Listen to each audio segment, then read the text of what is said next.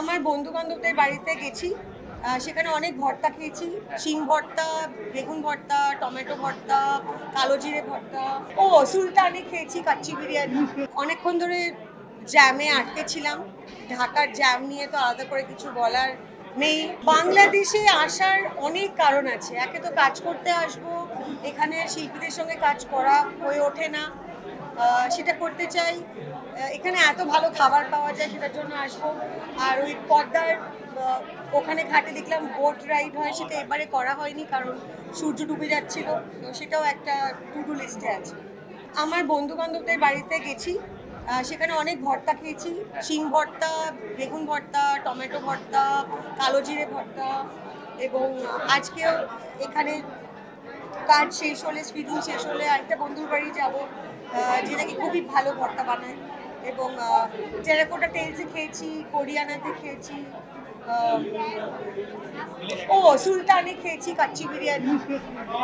না, ইলিশটা খাওয়া হয়নি, ওটা এপ্রিলে এসে দারুণ দারুণ পাওয়া এটা একটা বিশাল বড় প্রাপ্তি। এত মানুষের, এত ভালোবাসা আছে এবং এত মানুষ আমার ছবি দেখতে এসছে, আমার মনে হয় ঈশ্বরের অনেক আশীর্বাদ, আমার বাবা মার অনেক আশীর্বাদ আছে আমার উপরে।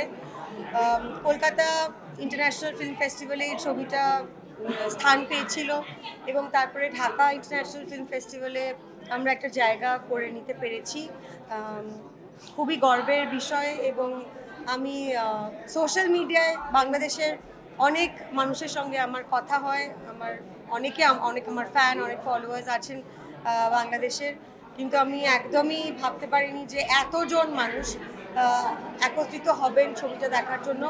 আমি অনেকক্ষণ ধরে জ্যামে আটকে ছিলাম। ঢাকার জ্যাম নিয়ে তো আলাদা করে কিছু বলার নেই। কলকাতা শহর থেকে যতক্ষণে এয়ারপোর্টে পৌঁছেছি অতক্ষণের বেশি সময় লাগল আমার এয়ারপোর্ট থেকে হোটেল পৌঁছাতে। তো অনেকক্ষণ আমি জ্যামে আটকে ছিলাম এবং দেরি হয়ে যেত পৌঁছতে বলে আমি গাড়ি থেকে নেমে হেঁটে চলে এসেছি। এবং হেঁটে গেট দিয়ে ঢোকার সময় ভাবছি এত বড় একটা লাইন বোধহয় আরও অন্য কোনো ছবি দেখাচ্ছে, সেই জন্য হয়তো মানুষ এসছে। কিন্তু তারপরে বুঝলাম যে না, এত এত, এতজন মানুষ আমার ছবি দেখতে এসছে। বিশাল বড় প্রাপ্তি। এখানকার সব সব শিল্পীরাই তো কলকাতায় গিয়ে কাজ করছে। ইনফ্যাক্ট এখানকার শিল্পীরা পশ্চিমবঙ্গে গিয়ে অনেক বেশি কাজ করে আমরা এখানে এসে কম কম কাজ করি। আমরা অভিনেতা আমাদের আমাদের এই এখানে রোলটা খুবই ক্ষুদ্র। হ্যাঁ প্রডিউসার যারা আছেন ডিস্ট্রিবিউটর যারা আছেন, দুই দেশের গভর্নমেন্ট তাদেরকে একটা কোনো চুক্তিবদ্ধ হতে হবে।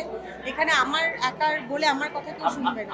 আমি তো চাইবই যে আমার সব ছবি এখানে রিলিজ হোক। আমার এত এত ফ্যান ফলোয়িং এখানে, আমার সব ছবি এখানে রিলিজ হলে এত মানুষ দেখতে পাবে। আমরা এখানে এসে কাজ করব, এখানকার মানুষ ওখানে গিয়ে কাজ করুক, এটাই তো চাই। আর্টিস্ট হিসেবে এটা আমাদের খুবই লস যে এত সারা বিশ্বে এত বাঙালি থাকা সত্ত্বেও আমাদের আমাদের ছবি আমাদের কাজ সেইভাবে পৌঁছাতে পারছে না। এটা একদমই একটা মানে বিজনেস রিলেটেড ইস্যু মানে এখানে আমরা আমরা চেষ্টা করেও কিছু করতে পারছি না।